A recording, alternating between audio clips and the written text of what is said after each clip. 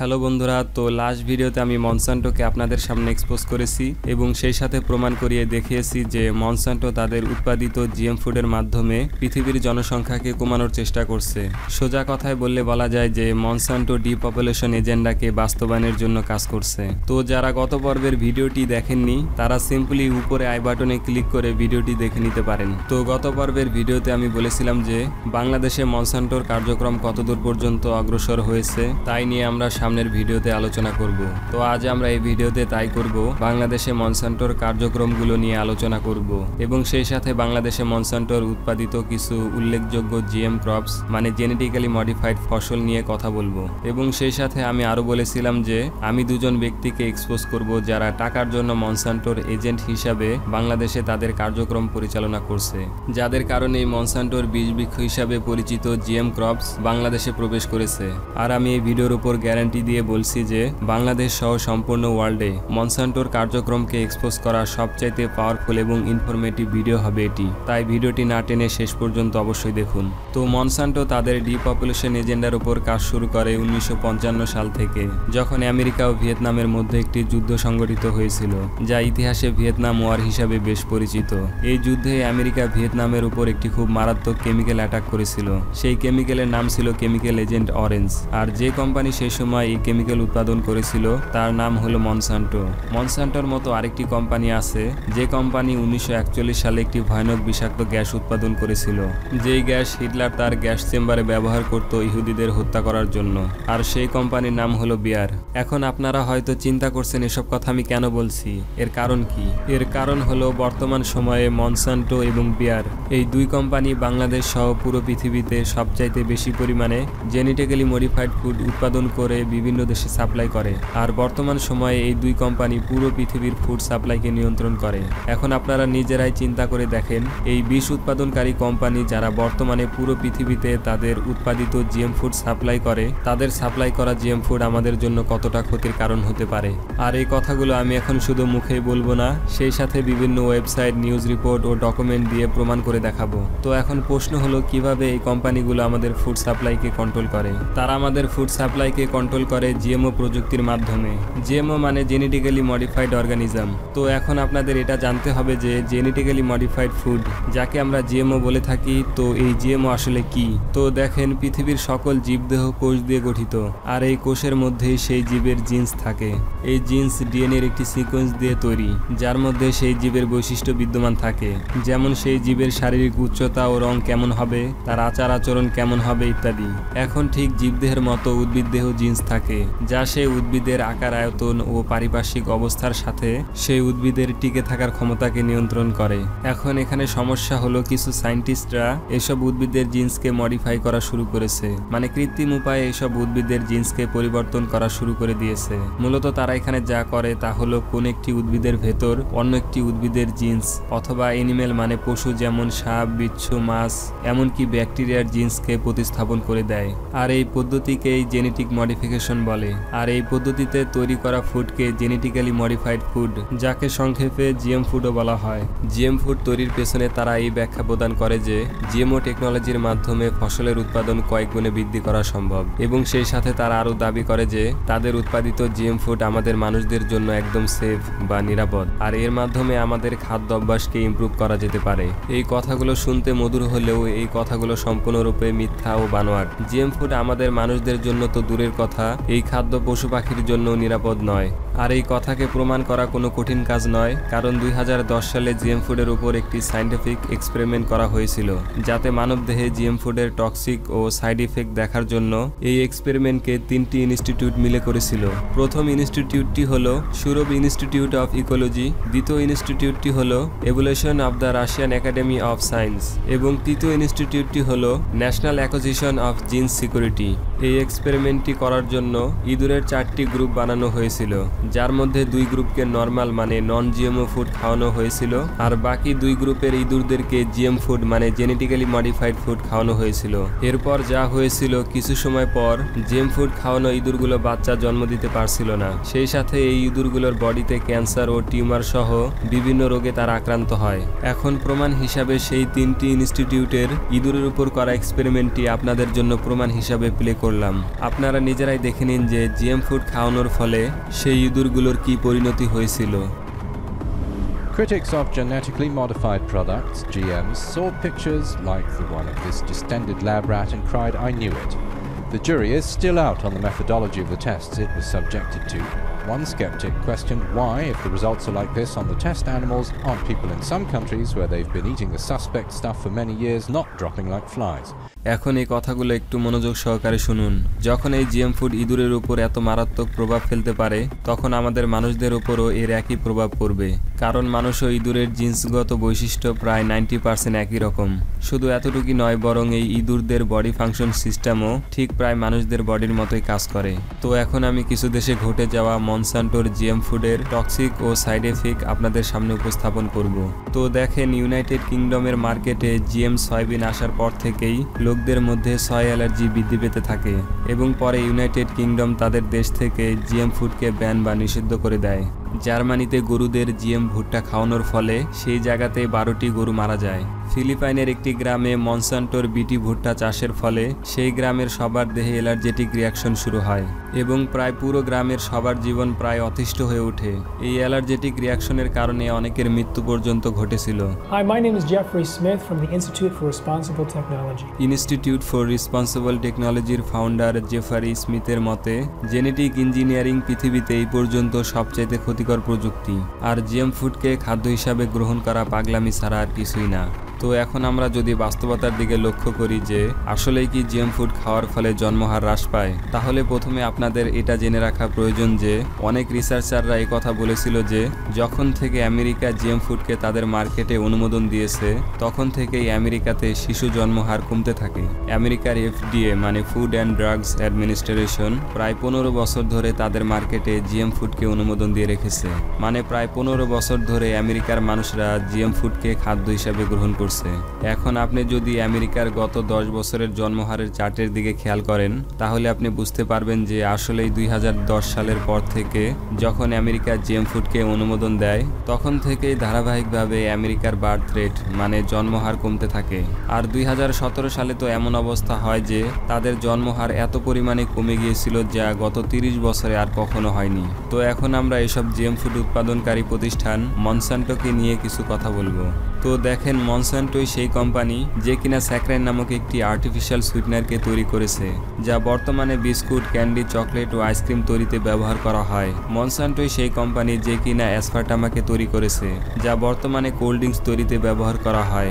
মনসান্টোই সেই কোম্পানি যে কিনা গ্লাইফোসেট নামক হার্বিসাইড কিলার কেমিক্যাল তৈরি করেছে, যা বর্তমানে আমাদের ফসলের উপর ব্যবহার করা হয়। আর মনসান্টোর তৈরি করা এই সবগুলো জিনিসেই ক্যান্সার সৃষ্টিকারী পদার্থ কার্সোনিজেন পাওয়া গেছে।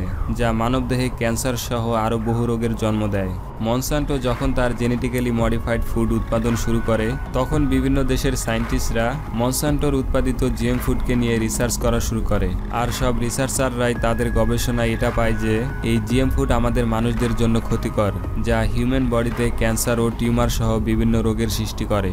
আর এই কারণেই মনসান্টো তার পলিটিক্যাল পাওয়ার ব্যবহার করে অন্যান্য সায়েন্টিস্টদেরকে তাদের তৈরি করা জিএম ফুডের উপর রিসার্চ করা ও গবেষণা করাকে নিষিদ্ধ করে দিয়েছে। এখন আমরা বাংলাদেশে মনসান্টোর কার্যক্রম এবং বাংলাদেশে মনসান্টোর উৎপাদিত কিছু উল্লেখযোগ্য জিএম ক্রপস নিয়ে আলোচনা করব। তো এই বীজ বৃক্ষ সৃষ্টিকারী কোম্পানি মনসান্টো বাংলাদেশে তাদের যাত্রা শুরু করে দুই হাজার পাঁচ সালে বিটি বেগুনের মাধ্যমে।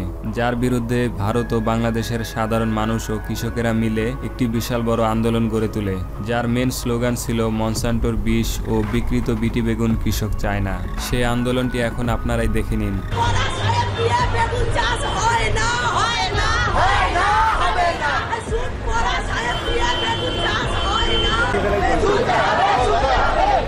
ভারতে বিটি বেগুনকে ব্যান করা হলেও বাংলাদেশে কেন বিটি বেগুনকে ব্যান করা হলো না?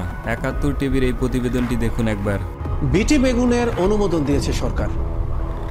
বেগুনের জিন পাল্টে ফেলাকে কেন্দ্র করে ভারত সহ জাতীয় এবং আন্তর্জাতিক পর্যায়ে বিতর্কের মাঝে সরকার এই অনুমোদন দিল। ফারজান রেজার দুই পর্বে প্রতিবেদনের আজ প্রথম পর্ব। জিন বদলে বেগুনের নতুন জাত উদ্ভাবনের প্রক্রিয়া শুরু হয় দু হাজার পাঁচে ইউএসএআইডির সহায়তায় বহুজাতক বীজ কোম্পানি, মনসান্ত এবং ভারতের মাহিকো কোম্পানি বিটি বেগুনের জাত উদ্ভাবন করলেও ভারত সরকার এই বেগুন চাষের অনুমোদন দেয়নি। সম্প্রতি বাংলাদেশ সরকার বিটি বেগুন চাষের অনুমোদন দিয়েছে। এখন প্রশ্ন হলো, বিটি বেগুন কি? বিটি অর্থ ব্যাসিলাস থুরেঞ্জাস হলো এক ধরনের ব্যাকটেরিয়া। এই ব্যাকটেরিয়া বিষাক্ত হয় বলে এটি পোকামাকড় ও কীটপতঙ্গ নাশক হিসাবে কাজ করে। এই ব্যাকটেরিয়া বেগুনের উপর এক ধরনের প্রলেপ তৈরি করে, যা পোকামাকড়দের জন্য বিষাক্ত, যা খেলে পোকামাকড়ের পেটে বিষক্রিয়ার ফলে পোকামাকড়রা মারা যায়। যে খাবার খেলে পোকামাকড়রা পর্যন্ত মারা যায়, সেই খাবার আমাদের মানুষদের জন্য কীভাবে নিরাপদ হতে পারে? তো বাংলাদেশে মনসান্টোর বিটি বেগুন অনুমোদনের পর, এবার আসছে জিএমও আলু। একাত্তর টিভির এই প্রতিবেদনটি দেখুন একবার। জিএমও বেটি বেগুনের অনুমোদনের পর এবার আসছে জিএমও আলু। ফসলের এই জেনেটিক বদল নিয়ে শুরু হয়েছে বিতর্ক। গবেষকরা বলছেন, এসব ফসল এখনই চাষের আওতায় না এনে আরও গবেষণা দরকার। বিস্তারিত প্রতিবেদনে। বাড়ছে মানুষ, কমছে খাদ্য উৎপাদন। সেই সাথে পাল্লা দিয়ে কমে যাচ্ছে চাষের জমি। সংকট মোকাবেলায় ফলন বাড়াতে একদল গবেষকরা বলছেন, ফল ফসলের জিনগত বদল দরকার। আমরা বন্যা প্রতিরোধী করতে পারি। আমরা খরা প্রতিরোধী করতে পারি, আমরা এর পুষ্টিমান বাড়াবার জন্য করতে পারি। অনেক দিকে এই জেনেটিক্যালি মডিফাইড ফুডের প্রয়োজনীয়তাও রয়েছে। গত বছর থেকে জিন বদলের ফসল বা জিএমও ফসল চাষ স্বল্প আকারে শুরু হলেও ভুট্টা সহ বেশ কিছু শস্য আমদানি করা হয়। সম্প্রতি ভারত সহ সারা বিশ্বে জিনগত বদল নিয়ে শুরু হয় বিতর্ক। বলা হচ্ছে এই ধরনের ফসল মানবদেহের জন্য ক্ষতিকর কিনা সে বিষয়ে গবেষণা ছাড়াই চাষের অনুমোদন দেওয়া হয়েছে। আমাদের যে বিজ্ঞানী রয়েছেন তাদেরও নিবিড় গবেষণা করা উচিত আরও যে এটা আমাদের মানুষের জন্য পরিবেশের জন্য ক্ষতি করে কি না। যখনই এটা প্রমাণ হবে যে ক্ষতি করবে না মানুষ এবং পরিবেশে তখনই আমি মনে করি কৃষক পর্যায়ে যেতে পারে। গবেষকরা দাবি তুলেছেন নতুন কোনো ফসল কৃষকের চাষের জন্য দেওয়ার আগে যে পরিমাণ পরীক্ষা নিরীক্ষার দরকার তা জিনগত পরিবর্তিত ফসল বিটি বেগুনের ক্ষেত্রে করা হয়নি। এর মধ্যে আবার খুব শীঘ্রই মাঠে আসার অপেক্ষায় জিনগত বদল আলুর মোড়ক পচা রোগ প্রতিরোধী জাত। তো মনসান্টোর উৎপাদিত জিএমও আলু মানবদেহের জন্য ক্ষতিকর হওয়ার কারণে আয়ারল্যান্ডে জিএমও আলুর বিরুদ্ধে বিশাল বড় একটি প্রোটেস্ট করা হয়। আয়ারল্যান্ডে করা সেই প্রোটেস্টের ছবিগুলো এখন আপনারা স্ক্রিনে দেখতে পারছেন। এত বড় বিশাল প্রোটেস্টের পর আয়ারল্যান্ড সরকার তাদের দেশে জিএম আলুকে ব্যান বা নিষিদ্ধ করে দেয়। অথচ বাংলাদেশে সেই বিষাক্ত জিএমও আলুকে সরকার অনুমোদন দিল। এখন এই রিপোর্টটি দেখুন একবার। যেখানে সেফ বা নিরাপত্তার ব্যাপারে জিএম আলু এফ গ্রেড পেয়েছে মানে ফেল করেছে। মানে জিএম আলু সেফটি মেজার্স অতিক্রম করতে পারেনি। এই রিপোর্টে স্পষ্টভাবে লেখা আছে যে, GMO cause intestinal issue in rats অর্থাৎ জিএমও ইঁদুরের অভ্যন্তরে বিভিন্ন সংক্রমণ বা রোগের সৃষ্টি করে। যেহেতু ইঁদুরের বডি ফাংশন সিস্টেম প্রায় নাইনটি পার্সেন্ট মানবদেহের মতোই কাজ করে, তাই বলা যেতেই পারে যে, যদি জিএমও আলু ইঁদুরের অভ্যন্তরে বিভিন্ন রোগ সৃষ্টি করতে পারে, তাহলে যদি এই জিএমও আলু মানুষ খায়, তাহলে মানুষের উপরও এর একই প্রভাব পড়বে। এখন এই মনসান্টোই প্রচণ্ড পরিমাণে জিএম ফুড বাংলাদেশে সাপ্লাই করে তাদের সাপ্লাই করা জিএম ফুডের মধ্যে উল্লেখযোগ্য হলো ভুট্টা। মনসান্টো আমেরিকাতে প্রচণ্ড পরিমাণে জেনেটিক্যালি মডিফাইড ভুট্টা উৎপাদন করে থাকে, যা তারা পরে বিভিন্ন দেশে সাপ্লাই করে থাকে। মনসান্টো বাংলাদেশে প্রায় সতেরো মিলিয়ন ডলারের জেনেটিক্যালি মডিফাইড ভুট্টা এক্সপোর্ট করে থাকে। আর আমেরিকাতেই যখন এই জিএমও ভুট্টা টক্সিক ও সাইড ইফেক্ট দেখার জন্য এর উপর সাইন্টিফিক রিসার্চ করা হয়, তখন রিসার্চে পাওয়া যায় যে, এই জিএমও ভুট্টা খাওয়ার ফলে ইঁদুরদের মধ্যে ক্যান্সার ও টিউমার সহ বিভিন্ন রোগ তাদের শরীরে ডেভেলপ করতে থাকে। আর বাংলাদেশ প্রচণ্ড পরিমাণে এই জেনেটিক্যালি মডিফাইড ভুট্টা আমেরিকা থেকে ইম্পোর্ট করে। তো বাংলাদেশে মনসান্টো তাদের আরেকটি জিএম ক্রপসকে খুব শীঘ্র ইন্ট্রোডিউস করাবে, যার নাম হলো গোল্ডেন রাইস যা ইতিমধ্যে বাংলাদেশে চাষাবাদ শুরু হয়ে গেছে। এই গোল্ডেন রাইস এখন আপনার প্লেটে আসার সময়ের ব্যাপার। তো এখন প্রশ্ন হলো গোল্ডেন রাইস কি?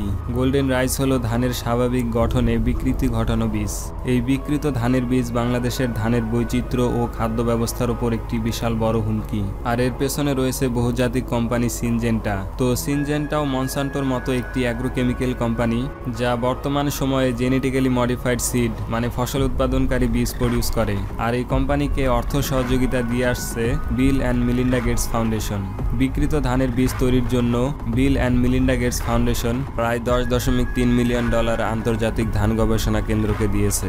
আর বিল গেটসকে তা আপনারা অবশ্যই জানেন যে কিনা ডিপপুলেশন এজেন্ডার উপর কাজ করে আসছে। বিল গেটসের আগে বিল গেটসের পিতাও ডিপপুলেশন এজেন্ডার উপরই কাজ করত। আর বর্তমানে বিল গেটসও তার ভ্যাকসিনের মাধ্যমে ডিপপুলেশন এজেন্ডার উপর কাজ করছে। তো বিল গেটস এসব জিএম ক্রপস উৎপাদনকারী কোম্পানিগুলোকে বিভিন্নভাবে অর্থনৈতিকভাবে সহযোগিতা করে থাকে এবং তাদের একটি প্ল্যান আছে। সেই প্ল্যান অনুসারে তারা খুব শীঘ্রই জিএম ক্রপসের মাধ্যমে এই পৃথিবী থেকে তিন বিলিয়ন মানে প্রায় তিনশো কোটি মানুষকে মেরে ফেলবে। বর্তমানে এইসব জিএম ক্রপস উৎপাদনকারী কোম্পানিগুলোর লক্ষ্য হলো আফ্রিকা ও এশিয়া। তো এশিয়ার দেশগুলো হলো বাংলাদেশ, ইন্ডিয়া, পাকিস্তান, শ্রীলঙ্কা, ফিলিপিন ইত্যাদি। তো এইসব দেশের প্রধান খাদ্যই হলো রাইস বা ভাত। আর এই রাইসকে বিষাক্ত করার জন্য তারা সামনে এনেছে জেনেটিক্যালি মডিফাইড গোল্ডেন রাইস। তো সিনজেন্টা কোম্পানির প্রথম টার্গেট হলো ফিলিপিন এবং দ্বিতীয় টার্গেট হলো বাংলাদেশ। কারণ এই দুই দেশেই প্রচুর পরিমাণে ধান উৎপাদিত হয় এবং এই দুই দেশের প্রধান খাদ্যই হলো রাইস বা ভাত। তো ফিলিপাইনে যখন গোল্ডেন রাইসকে অনুমোদন দেওয়া হয়, তখন ফিলিপাইনের সচেতন নাগরিক এবং বিভিন্ন গবেষকরা মিলে একটি বড় প্রতিবাদ গড়ে তোলে এবং তারা বলে যে গোল্ডেন রাইস আমাদের মানবদের জন্য ক্ষতিকর।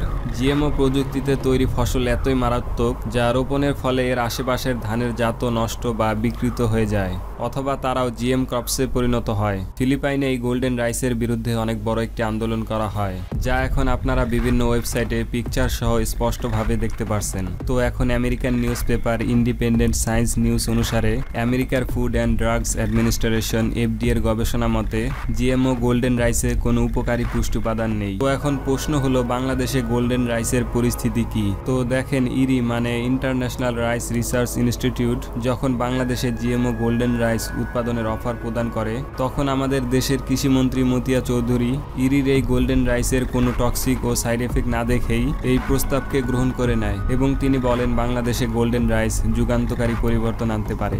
অনেক গবেষকের মতে গোল্ডেন রাইসে কোনো পুষ্টি উপাদান নেই। এটি শুধুমাত্র একটি ধোকা ছাড়ার কিছুই নয়। এই গোল্ডেন রাইসের মাধ্যমে এই কোম্পানিগুলো শুধুমাত্র মুনাফা লাভ করতে চায়। এই জেনেটিক্যালি মডিফাইড গোল্ডেন রাইস খাদ্য হিসাবে গ্রহণের ফলে মানুষ বিভিন্ন রোগে আক্রান্ত হতে পারে। কারণ এই গোল্ডেন রাইসের টক্সিক ও সাইড এফেক্টের উপর তেমন কোনো সাইন্টিফিক রিসার্চ করা হয়নি। এই গোল্ডেন রাইস মানবদেহে কি ক্ষতি করতে পারে, তা সম্পর্কে কারও কোনো স্পষ্ট ধারণা নেই। বাংলাদেশ নয়া কৃষি আন্দোলনের সংগঠক এবং অ্যাক্টিভিস্ট রিসার্চার অর্গানাইজেশনের পরিচালক ফরিদ আক্তারের মতে, সিনজেন্টা নামের কোম্পানি দাবি করেছে যে, এই ধানের মধ্যে তারা ভুট্টার জিন্স ঢুকিয়ে, তারা এর মধ্যে ভিটামিন এ মানে ভিটা ক্যারোটিন যুক্ত করেছে, যার মাধ্যমে রাতকানা রোগ ভালো হবে। তো বাংলাদেশে রাতকানা রোগীর সংখ্যা এত বেশি নয় যে, এটা আমাদের ধানের মধ্যে চিকিৎসা আকারে দিতে হবে। সিনজেন্টা কোম্পানি ধানের রং সোনালী করার জন্য এখানে তারা ভুট্টার জিন্স ব্যবহার করেছে, যার মধ্যে ভিটামিন এর সরাসরি কোনো সম্পর্ক নেই। আর এই একই কথা বলেছে আমেরিকার food and drugs administration, FDA. GMO golden rice offers, no nutrition benefits says FDA তো বাংলাদেশের বার ইনস্টিটিউট গোল্ডেন রাইসকে দুই হাজার চোদ্দ সাল থেকে আন্ডার ট্রায়ালে রেখেছে এবং এই গোল্ডেন রাইসকে নিয়ে তাদের একটি প্ল্যান আছে। সেই প্ল্যান অনুসারে দুই হাজার একুশ সালের মধ্যে গোল্ডেন রাইসকে পুরো বাংলাদেশে ছড়িয়ে দেওয়া হবে। এই গোল্ডেন রাইসের ওপর এক্সপার্ট কিছু বাংলাদেশি গবেষক বলেছে যে golden rice contents vitamin A আ হলো প্রোপাগান্ডা অর্থাৎ গোল্ডেন রাইসে ভিটামিন এ থাকে, এটি একটি ফাঁকা প্রচার। তো বাংলাদেশে যদি গোল্ডেন রাইসকে খাদ্য হিসাবে গ্রহণ করা হয় তাহলে এর পরিস্থিতি হতে পারে অত্যন্ত ভয়ানক। কারণ এই জেনেটিক্যালি মডিফাইড গোল্ডেন রাইসের টক্সিক ও সাইড এফেক্ট সম্পর্কে এখনও ভালো করে কোনো গবেষণা করা হয়নি। আর এখানে সবচাইতে ভয়ানক ব্যাপারটা হলো সিনজেন্টা কোম্পানিকে অর্থ সহযোগিতা দিয়ে থাকে বিল গেটস যাতে করে এইসব কোম্পানি গরিব ও অনুন্নত দেশগুলোতে জিএম ফুডের মাধ্যমে ডিপপুলেশন এজেন্ডাকে বাস্তবায়ন করতে পারে। এবং তাদের একটি প্ল্যান আছে। সেই প্ল্যান অনুসারে তারা খুব শীঘ্রই এই জিএম ক্রপসের মাধ্যমে এই পৃথিবী থেকে তিন বিলিয়ন মানে প্রায় তিনশো কোটি মানুষকে মেরে ফেলবে। তো এখন আমরা ভারতের একটি জিএম ক্রপস নিয়ে কিছু কথা বলব। আপনারা হয়তো ভাবছেন, আমি ভারতের জিএম ক্রপস নিয়ে কেন কথা বলছি? এর কারণ কি? তো দেখেন, বাংলাদেশ বিশ্বের দ্বিতীয় সর্ববৃহত্তম পোশাক রপ্তানিকারক দেশ। পোশাক রপ্তানি করার দিক থেকে চায়নার পরই বাংলাদেশের অবস্থান। আর পোশাক তৈরির জন্য কটন বা তুলার প্রয়োজন হয়, যা দিয়ে পোশাকের নিত্য প্রয়োজনীয় বস্তু সুতা তৈরি করা হয়, যা দিয়ে পরে পোশাক তৈরি করা হয়। তো বাংলাদেশ তার প্রয়োজনের শতকরা আটানব্বই ভাগ কটন বা তুলা বাইরের দেশ থেকে আমদানি করে। আর কয়েক বছর আগ পর্যন্ত বাংলাদেশের তুলার সবচেয়ে বড় রপ্তানিকারক দেশ ছিল ভারত। বাংলাদেশের প্রয়োজনের শতকরা ষাট ভাগ তুলাই ভারত বাংলাদেশে রপ্তানি করত। কিন্তু ভারতের তুলার মান ভালো না হওয়ায় এবং দীর্ঘ সময় পর্যন্ত সংরক্ষণ করা যায় না বলে বাংলাদেশ ভারত থেকে তুলা আমদানি করা কমিয়ে দেয় এবং আফ্রিকা, অস্ট্রেলিয়া ও আমেরিকা ইত্যাদি দেশগুলো থেকে তুলা আমদানি করা শুরু করে। যার ফলে ভারতের রপ্তানি শতকরা ষাট ভাগ থেকে কমে ছাব্বিশ দশমিক বারো ভাগে এসে পৌঁছেছে। তো ভারত বাংলাদেশে তার তুলা রপ্তানি বৃদ্ধি করার জন্য এবং তুলার মান আরও উন্নত করার জন্য ন্যাচারাল তুলার পরিবর্তে মনসান্টোর জেনেটিক্যালি মডিফাইড বিটি কটনের চাষাবাদ শুরু করে। তো এখন প্রশ্ন হলো, বিটি কটন কি? বিটি কটন হলো ঠিক বিটি বেগুনের মতো একটি জেনেটিক্যালি মডিফাইড ক্রপস যা নিজে থেকে মাজরা পোকার বিষ তৈরি করে, যা তুলা গাছের ওপর এক ধরনের ক্রিস্টাল প্রোটিনের প্রলেপ তৈরি করে, যা পোকামাকড়দের জন্য অত্যন্ত বিষাক্ত। যখন পোকামাকড়রা বিটি কটনে আক্রমণ করে এবং তুলা গাছের পাতা খেয়ে ফেলে, তখন এটি মাজরা পোকার পেটে এক ধরনের পয়জনিক রিয়াকশন সৃষ্টি করে, যার ফলে পোকামাকড়রা মারা যায়। তো দেখেন, এই জেনেটিক্যালি মডিফাইড বিটি কটনের কিছু টক্সিক ও সাইড এফেক্ট আছে। কৃষক যখন বিটি কটনের ক্ষেতে কাজ করার জন্য প্রবেশ করে, তখন তাদের স্কিনে এক ধরনের অ্যালার্জেটিক রিয়াকশন শুরু হয়। কিন্তু কৃষকেরা যখন নর্মাল নন বিটি কটন ক্ষেতে কাজ করার জন্য প্রবেশ করে, তখন তাদের মধ্যে এ ধরনের রোগগুলো দেখা যায় না এবং তারা সম্পূর্ণ সুস্থ থাকে। ভারতে তুলা চাষের পর কৃষকেরা তাদের গৃহপালিত পশুকে এসব খেতে চড়াতে নিয়ে যেত, অবশিষ্ট তুলা গাছের পাতাগুলো খাওয়ানোর জন্য, যাতে কখনো কোনো সমস্যা হয়নি। কিন্তু যখন তারা বিটি কটনের চাষাবাদ শুরু করল, তখন তারা দেখল যে বিটি কটনের পাতা খেয়ে হাজারো পশু অসুস্থ হয়ে গেছে এবং হাজারো পশু মারা গেছে। ভারতের একটি ক্ষুদ্র প্রতিষ্ঠান যার নাম ডেক অ্যান্ড ডেভেলপমেন্ট সোসাইটি, তারা সরকারের কাছে একটি আবেদন করেছিল যেন সরকার বিটি কটনের উপর একটি সাইন্টিফিক টেস্ট করে, এটা জানার জন্য যে, এই বিটি কটনের কারণেই কি এই পশুগুলো মারা যাচ্ছে। তারা সরকারের কাছে আবেদন করলেও সরকার তাদের কোনো কথাই আমলে নেয়নি। এরপর তারা বিভিন্ন বিজ্ঞান বিশ্ববিদ্যালয়ে এই বিটি কটনকে নিয়ে পরীক্ষা করার জন্য রিকোয়েস্ট করলেও কেউ তাদের কথা শুনেনি। তো কোনো উপায় না পেয়ে ডিডিএস মানে ড্যাক অ্যান্ড ডেভেলপমেন্ট সোসাইটি, নিজেই একটি সাইন্টিফিক রিসার্চ করে, যেখানে তারা মোট নয়টি ছাগল ব্যবহার করেছিল এই পরীক্ষা করার জন্য, যেখানে ছয়টি ছাগলকে বোলগার ওয়ান ও বোলগার টু, এই দুই জাতের বিটি কটন খাওয়ানো হচ্ছিল। আর বাকি তিনটি ছাগলকে খাওয়ানো হয়েছিল নন বিটি কটন। তো প্রায় এক মাসের মধ্যে যে সকল ছাগলগুলোকে genetically modified cotton Bollgard one এবং বোলগার টু এই দুই জাতের কটন খাওয়ানো হয়েছিল, সেই সব ছাগলগুলো মারা যায়। আর যে সকল ছাগলগুলোকে নন বিটি কটন খাওয়ানো হয়েছিল, সেই সকল ছাগলগুলো এখনও বেঁচে আছে এবং মাঠে অ্যাক্টিভ আছে। তো এখন আমি আপনাদের ভারতের আন্ধ্রপ্রদেশের একটি ঘটনা প্রমাণ সহ দেখাবো। যেই ঘটনা প্রমাণ করে দেবে যে জেনেটিক্যালি মডিফাইড ক্রপস আমাদের মানুষদের জন্য কতটা ক্ষতিকর? ভারতের আন্ধ্রপ্রদেশের একটি গ্রামের কৃষকেরা তাদের তুলা চাষের পর তাদের মহিষগুলোকে সেই তুলা ক্ষেতের অবশিষ্ট তুলা গাছের পাতা খাওয়ানোর জন্য নিয়ে যেত। যাতে বিটি কটন আসার আগ পর্যন্ত কোনো সমস্যা হয়নি। সবকিছু স্বাভাবিক ছিল, কিন্তু যখন সেখানে দেশি তুলার পরিবর্তে মনসান্টোর জেনেটিক্যালি মডিফাইড বিটি কটনের চাষাবাদ শুরু করা হয়, তখন থেকে তাদের দেহে এলার্জি ও চুলকানি শুরু হয় এবং সেখানকার কিছু কৃষকেরা তাদের তেরোটি মহিষকে তুলা গাছের অবশিষ্ট পাতা ও খড়কুটা খাওয়ানোর জন্য সেখানে নিয়ে যায়। এই জেনেটিক্যালি মডিফাইড বিটি কটন যেমন পোকামাকড়ের পেটে বিষক্রিয়ার সৃষ্টি করে, পোকামাকড়দেরকে মেরে ফেলে, ঠিক তেমনি বিটি কটন খাওয়ার ফলে মহিষগুলোর পেটে বিষক্রিয়ার সৃষ্টি হয় এবং মাত্র তিন দিনের মাথায় কৃষকদের তেরোটি মহিষের মধ্য থেকে একটিও বাঁচেনি। তেরোটি মহিষের মধ্য থেকে তেরোটি মহিষী মারা গেছে। প্রমাণ হিসাবে ভুক্তভোগী কৃষকদের মৃত মহিষ সহ তাদের ছবি আপনারা দেখে নিতে পারেন। তো যে সকল ফসল জেনেটিক্যালি মডিফাইড করে জিএম ক্রপসে পরিণত করা হয়, সেই সকল ফসলে অনিশ্চিত পার্শ্ব প্রতিক্রিয়া থাকতে পারে। এটা শুধু স্বাস্থ্যই নষ্ট করে না, বরং সম্পূর্ণ কৃষি ব্যবস্থাকেই ধ্বংস করে দেয়। কারণ জিএম ক্রপসের সংস্পর্শে আসলে অন্য ক্রপসও জিএম ক্রপসে পরিণত হয়। আর যেহেতু এই বিটি কটন ভারত বাংলাদেশে এক্সপোর্ট করে, তাই এটি বাংলাদেশের জন্য ক্ষতির কারণ হতে পারে। তো এখন আমি এক্সপোজ করব সেই দুজন ব্যক্তিকে, যাদের কারণেই বাংলাদেশের বাজারে মনসান্টোর জিএম ক্রপস প্রবেশ করেছে। প্রথম ব্যক্তি হলেন বাংলাদেশের কৃষিমন্ত্রী মতিয়া চৌধুরী। তো দেখেন, যখন ইন্টারন্যাশনাল রাইস রিসার্চ ইনস্টিটিউট ইরি বাংলাদেশ ভিজিট করে, তখন তারা বাংলাদেশের কৃষিমন্ত্রী মতিয়া চৌধুরীকে জেনেটিক্যালি মডিফাইড গোল্ডেন রাইস বাংলাদেশে উৎপাদনের প্রস্তাব দেয়। এই প্রস্তাবের কিছুদিন পর ইরি সম্মেলনে মতিয়া চৌধুরী বাংলাদেশে গোল্ডেন রাইস আনার জন্য তাড়াহুড়া শুরু করে দেয়। তিনি এই গোল্ডেন রাইসের ক্ষতিকর দিকগুলো না দেখেই বাংলাদেশে গোল্ডেন রাইস আনার জন্য তড়িগড়ি শুরু করে এবং তিনি বলেন গোল্ডেন রাইসে ভিটামিন এ থাকে, যা আমাদের দেশের ভিটামিন এর অভাব পূরণ করবে। কিন্তু এখানে বোঝার বিষয় হলো যেখানে আমেরিকার নিজেদের এফডিএ মানে ফুড অ্যান্ড ড্রাগস অ্যাডমিনিস্ট্রেশন নিজে বলেছে যে GMO golden rice offers no nutrition benefits অর্থাৎ জিএমও গোল্ডেন রাইসে কোনো পুষ্টি উপাদান নেই। এরপরও আমাদের দেশের কৃষিমন্ত্রী মতিয়া চৌধুরী এফডিএ এর এই রিপোর্টকে অগ্রাহ্য করে, বাংলাদেশে বিটি বেগুনের মতো গোল্ডেন রাইসকেও বাংলাদেশের বাজারে আনার জন্য তড়িঘড়ি শুরু করে। যার বিরুদ্ধে বাংলাদেশের কিছু রাইস এক্সপার্টরা মিলে একটি বড় প্রতিবাদ কমিটি গড়ে তোলে এবং তারা বলে golden rice content vitamin A, uh হল প্রোপাগান্ডা। অর্থাৎ গোল্ডেন রাইস ভিটামিন এ ধারণ করে, এটি একটি ফাঁকা প্রচার, এর কোনো সত্যতা নেই। গোল্ডেন রাইস তো আমাদের মানবদেহের জন্য ক্ষতিকর বটে, সেই সাথে এটি অন্য দেশি জাতের ধানের জন্য ক্ষতিকর। কারণ গোল্ডেন রাইসের সংস্পর্শে আসলে দেশি ধান তার মৌলিকত্ব হারিয়ে জিএম ক্রপসে পরিণত হতে পারে। তো বাংলাদেশের একজন নারী অ্যাক্টিভিস্ট যার নাম ফরিদা আক্তার, যে কিনা একটি রিসার্চ অর্গানাইজেশন পরিচালনা করে। তিনি উনিশশো নব্বই সাল থেকে বাংলাদেশে মনসান্টোর জিএম ক্রপসের বিরুদ্ধে সংগ্রাম করে যাচ্ছে। তিনি গোল্ডেন রাইস সম্পর্কে কি বলেছে শুনুন একবার।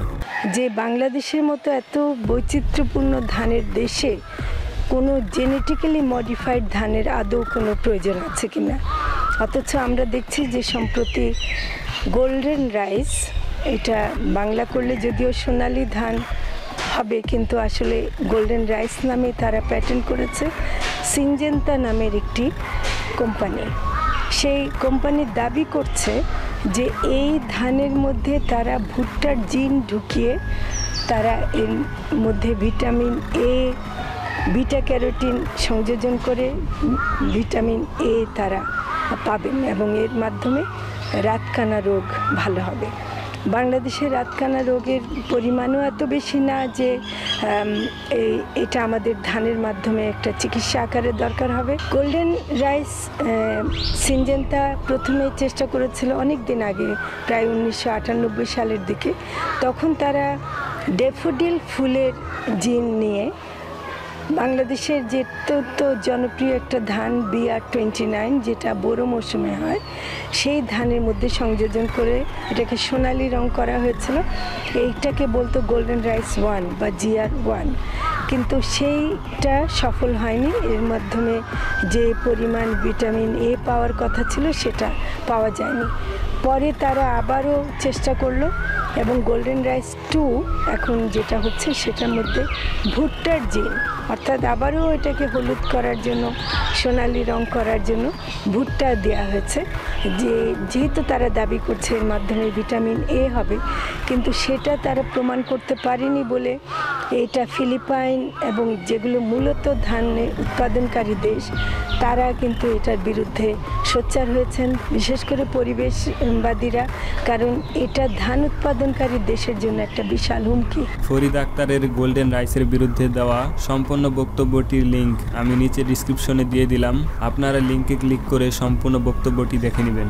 বাংলাদেশের কৃষিমন্ত্রী মতিয়া চৌধুরী বলেছেন, golden rice to bring regulationary change in rice farming. অর্থাৎ গোল্ডেন রাইস ধান চাষে বৈপ্লবিক পরিবর্তন আনবে। এই একই কৃষিমন্ত্রী মতিয়া চৌধুরী বিটি বেগুনের ক্ষেত্রেও এই একই কথা বলেছিল। বিটি বেগুন মানবদেহের জন্য ক্ষতিকর হওয়ার কারণে ভারত সরকার বিটি বেগুনকে ব্যান করেছিল এবং ভারতের কিছু উচ্চপদস্থ সরকারি কর্মকর্তা বাংলাদেশকে বিটি বেগুনের টক্সিক ও সাইড এফেক্টের ব্যাপারে সতর্ক করেছিল। Say a no to these toxic technologies.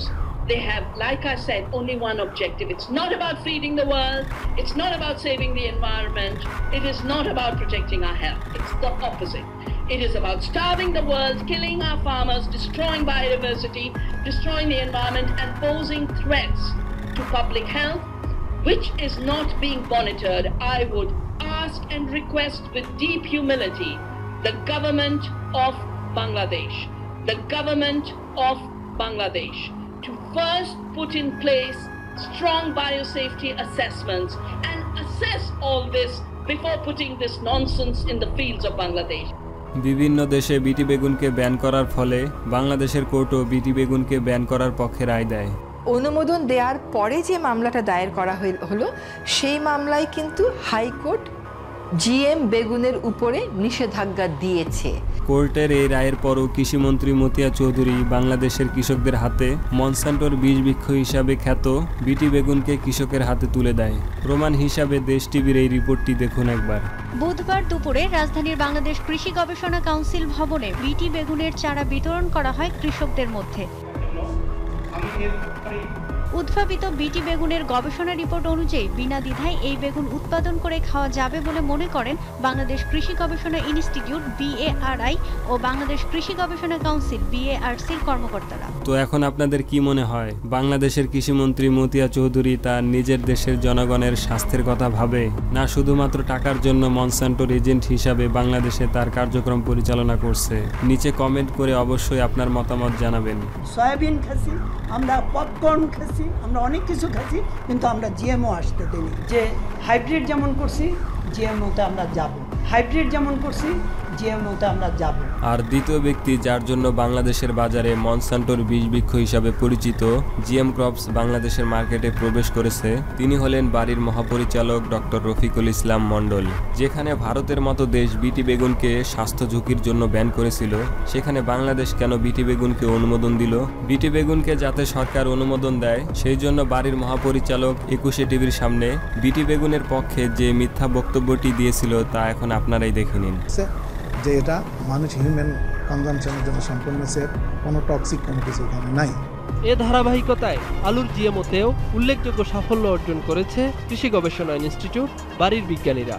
এখানে সে যে মিথ্যা কথাটি বলেছে তা হলো, এই বেগুনের মধ্যে নাকি কোনো টক্সিক উপাদান নেই। যদি সত্যি এই বেগুনে কোনো টক্সিক উপাদান না থাকে, তাহলে ভারত সরকার কেন বিটি বেগুনকে ব্যান করল? এখানে বাড়ির মহাপরিচালক আরেকটি মিথ্যা কথা বলেছে, তা হলো বেগুনে পোকা আক্রমণের পরিসংখ্যান নিয়ে। তিনি বলেছেন, দেশি জাতের বেগুনে শতকরা সত্তর ভাগ পর্যন্ত মাজরা পোকার আক্রমণ হয়। তার এই কথাটি সম্পূর্ণরূপে মিথ্যা ও বানোয়াট। অ্যাক্টিভিস্ট রিসার্চ অর্গানাইজেশনের পরিচালক ফরিদা আক্তার, ডাক্তার রফিকুল ইসলামের এই কথাগুলোকে ডাহা মিথ্যা কথা বলে প্রমাণিত করেছে। তার সেই কথাগুলো শুনুন একবার।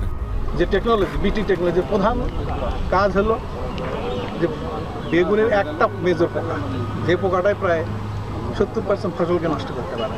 যে পোকাটাই প্রায় সত্তর পার্সেন্ট ফসলকে নষ্ট করতে পারে। অর্থাৎ এই টেকনোলজির মাধ্যমে ডগা, অর্থাৎ আমাদের যে ডগা আছে এটা, ডগার ভিতর দিয়ে ঢুকবে অথবা যে ফল আছে, ফল ছিদ্র করে দিয়ে ভিতরে ডিম পাড়বে, ওইটা ভিতরটা খেয়ে ফেলবে। এইটা কন্ট্রোলের জন্য আমাদের কৃষকরা দু একদিন পর পর স্প্রে করতো, যার ফলে রেকর্ডে আছে যে নিচে ষাট, উপরে থাকে একশো ষাট, একশো আশি পর্যন্ত বার স্প্রে করতে পুরো এই পাঁচ, ছয় মাসের মধ্যে। সব বেগুনে কিন্তু সত্তর ভাগ নষ্ট হয় না। প্রথম হলো এটা একটা ডাহা মিথ্যা কথা। এবং অনেকগুলো জাত আছে যেগুলো, এবং তারা যেগুলোতে বিটি করেছে, সেগুলো কিন্তু কোনোটাই বিশ শতাংশ বা চল্লিশ শতাংশের বেশি আক্রান্ত হয় না। তাহলে সত্তর শতাংশের যুক্তি দিয়ে এই বেগুনগুলোকে বিটি করার কি যুক্তি থাকতে পারে সেটা আগে আমাদেরকে বোঝাতে হবে। এই ডাক্তার রফিকুল ইসলামী ইরির সাথে মিলে এখন বাংলাদেশে গোল্ডেন রাইস আনার চেষ্টা করছে। জিএমও ফসলের বিরুদ্ধে তারা বলতেছে। আজকে আপনাদের বলে রাখি আগামী বছর আমাদের জিএমও আলু রিলিজ এর দু এক বছরের মধ্যে জিএমও রাইস রিলিজ হবে। জিএমও রাইস রিলিজ হবে। কারণ এখানে গোল্ডেন রাইস আমাদের ক্যাম্পাসের মধ্যেই হচ্ছে। এবং তারা এই কাজে অনেকটা সফল হয়ে গেছে। গোল্ডেন রাইস এখন বাড়ি মানে বাংলাদেশ এগ্রিকালচার রিসার্চ ইনস্টিটিউটে আন্ডার ট্রায়ালে আছে। অল্প কিছুদিনের মধ্যেই এই গোল্ডেন রাইসকে কৃষকের হাতে তুলে দেওয়া হবে। আমেরিকার এফডিএ এবং বাংলাদেশের কিছু রাইস এক্সপার্টরা বলেছে যে মনসান্টোর এই জেনেটিক্যালি মডিফাইড গোল্ডেন রাইসে কোনো পুষ্টি উপাদান নেই। এটা শুধুমাত্র একটি ফাঁকা প্রচার। এরপরেও তারা বাংলাদেশে গোল্ডেন রাইস আনার জন্য উঠে পড়ে লেগেছে। আমার প্রশ্ন হচ্ছে যে আইপি রাইট যদি বলেন বিটি জিনের আইপি রাইট মাইক্রো মনসান্টের ঠিক নয়। বলা আছে যে আমাদের এখান থেকে কোনো মাইক আছে দাবি করছে এখন তো যুদ্ধ না না আমরা বারবার বলতেছি যে এই জিনের মালিক হলো মনসেন্টো তারা। এটা কিন্তু সারা জীবন সারা পৃথিবীতে ওরা মালিক। এই জিন আমাদের কিনে দিছে ইউএসআইডি পয়সা দিয়ে বিনা পয়সা চালানোর জন্য। আমাদের বলছে যে এই বেগুন দিয়ে ব্যবসা করবেন না। বাড়ির মহাপরিচালক বলছেন বিটি বেগুনের বীজ তারা বিনা পয়সায় ব্যবহার করবেন। অন্যদিকে ব্যক্তি মালিকানার বীজ কোম্পানি লাল তীরও বিটি বেগুনের বীজ বাজারজাত করার অপেক্ষা করছে। তো এখন আপনাদের কি মনে হয়, বাড়ির মহাপরিচালকের এমন কাজকর্মের পেছনে কি মনসান্টোর হাত রয়েছে? নিচে কমেন্ট করে অবশ্যই জানাবেন। তো এখন আপনারা প্রশ্ন করতে পারেন, বাংলাদেশকে নিয়ে মনসান্টোর প্ল্যান বা পরিকল্পনা কি? তো আমি চাইলে এই প্রশ্নের উত্তর দিতে পারি, কিন্তু আমি বললে এই কথাগুলি প্রমাণ হিসাবে ধরা যাবে না। কিন্তু এই প্রশ্নের উত্তর যদি কোনো সিনিয়র সাংবাদিক দেয়, তাহলে এই কথাগুলিকে প্রমাণ হিসাবে ধরা যেতে পারে। তো বাংলাদেশকে নিয়ে মনসান্টোর পরিকল্পনা কি? প্রথম আলোর সিনিয়র রিপোর্টার ইফতেকার মাহমুদের মুখেই বাংলাদেশকে নিয়ে মনসান্টোর প্ল্যান বা পরিকল্পনা প্রমাণ সহ শুনে নিন। যারা বাংলাদেশ, সাউথ এশিয়া দেখে, তাদের সাথে একটা ছোটোখাটো একটা দেখা হয়েছিল কথা হয়েছিল মিটিং মতো হয়েছিল তো এখানে আমরা কয়েকজন সাংবাদিক ছিলাম, তো এখানে তাদেরকে আমরা জিজ্ঞেস করলাম যে বাংলাদেশ নিয়ে তাদের প্ল্যান কি? ওরা বলল যে বাংলাদেশে আগামী দিনে দুই হাজার নয় সালের স্থাপনাটা বলে যে দুই হাজার আগামী পাঁচ বছরের মধ্যে বাংলাদেশে বায়োটেকনোলজিকে ইন্ট্রোডিউস করা হচ্ছে তাদের টার্গেট এবং সেই ক্ষেত্রে তারা যুক্তরাষ্ট্র সরকারের সবচেয়ে বড় সহযোগী হিসেবে মনে করে মনসান্টোকে এবং মনসান্টো হচ্ছে তাদের জাতীয় নিরাপত্তা ব্যবস্থার অংশ। এবং তারা মনে করে যে মনসান্টো কোম্পানি বাংলাদেশে বায়োটেকনোলজিতে যদি কন্ট্রিবিউট করে, সেটা যুক্তরাষ্ট্রের জাতীয় নিরাপত্তার ক্ষেত্রে ভূমিকা রাখবে। এবং আমি আসার পরে এটা আমি খুঁজতে থাকলাম যে আসলে কোথায় এটা হচ্ছে। আমি জানতাম আমি ওইরকমভাবে আসলে কিছুদিন খোঁজার পরে পাইলাম না। তারপরে দেখলাম যে আস্তে আস্তে যে বিটিপি ইঞ্জেলের মধ্যে মার্কিন নীতি বাস্তবায়নে মনসান্টোর যোগসাজশের ইতিহাস অনেক পুরনো। দ্বিতীয় বিশ্বযুদ্ধে ব্যবহৃত আণবিক বোমার প্রকল্প তার সব থেকে ভয়াবহ নজির। বোমার মূল বিস্ফোরক তৈরির কাজ মনসান্টোর ল্যাবরেটরিতেই শুরু হয়। আর সেজন্য মনসান্টো মার্কিন সরকারের স্বীকৃতিও পেয়েছে। মনসান্টো ভিয়েতনাম যুদ্ধে ভিয়েতনামকে মারার জন্য এজেন্ট অরেঞ্জ বিক্রি করেছিল আমেরিকার কাছে। এজেন্ট অরেঞ্জ, আপনারা জানেন যে যেটা দিয়ে হচ্ছে সবাইকে মারা হয়েছিল। এই মনসান্টো সারা পৃথিবীতে হচ্ছে আপনার রাউন্ড আপ বিক্রি করে এবং রাউন্ড আপ বাংলাদেশে বিক্রি হয়। বাংলাদেশে মনসান্টোর কিন্তু অন্য কোনো কেমিক্যালস বিক্রি হয় না। চা বাগানে রাউন্ড আপ বিক্রি হয়। চা বাগানে নাকি হচ্ছে যে খুব ভালো নিয়ন্ত্রণ আমাদের নাই। মনসান্টোর ভুট্টা বাংলাদেশে ব্যাপক পরিমাণে আসলে বিক্রি হয়। এবং আপনার পুরা উত্তরবঙ্গ হচ্ছে যে আসলে মনসান্টো মনসান্টো কীভাবে বাংলাদেশের বেগুনের মালিকানা দখল করে নিচ্ছে এই রিপোর্টারের মুখে শুনে নিন। বাংলাদেশের পাবলিক প্রপার্টি আসলে বেগুন। এখন ঘটনা হচ্ছে যে আমার উত্তরার মধ্যে বা আমার কাজলার বেগুনের মধ্যে, আমার নয়নতারা বেগুনের মধ্যে, চ্যাগা বেগুনের মধ্যে, খটখটিয়া বেগুনের মধ্যে শুধুমাত্র একটা জিন ভরে দেওয়ার মাধ্যমেই এটার জেনেটিক ক্যারেক্টার পরিবর্তন ঘটেছে। এটা আপনারা সবাই জানেন। নতুন জেনেটিক ক্যারেক্টারের জন্যই এই নতুন বেগুনের মালিক হচ্ছে মনসান্টো এই নতুন বেগুনের মালিক হচ্ছে মনসান্টো তো বাংলাদেশে মনসান্টোর ডিপপুলেশন এজেন্ডাকে বাস্তবায়নের জন্য কোনো বম বা মিসাইলের প্রয়োজন নেই। তারা এই কাজটি করছে বিটি বেগুন সহ অন্যান্য জিএম ক্রপসের মাধ্যমে। এখনই যদি বাঙালি সচেতন না হয়, তাহলে মনসান্টো বাংলাদেশকে মৃত্যুপুরীতে পরিণত করে ফেলবে। জিএম ক্রপস সম্পর্কে আপনার মতামত কি তা অবশ্যই নিচে কমেন্ট করে জানাবেন। এতক্ষণ ভিডিওটি দেখার জন্য ধন্যবাদ। লাইক করুন, কমেন্ট করুন এবং অবশ্যই চ্যানেলটি সাবস্ক্রাইব করতে ভুলবেন না।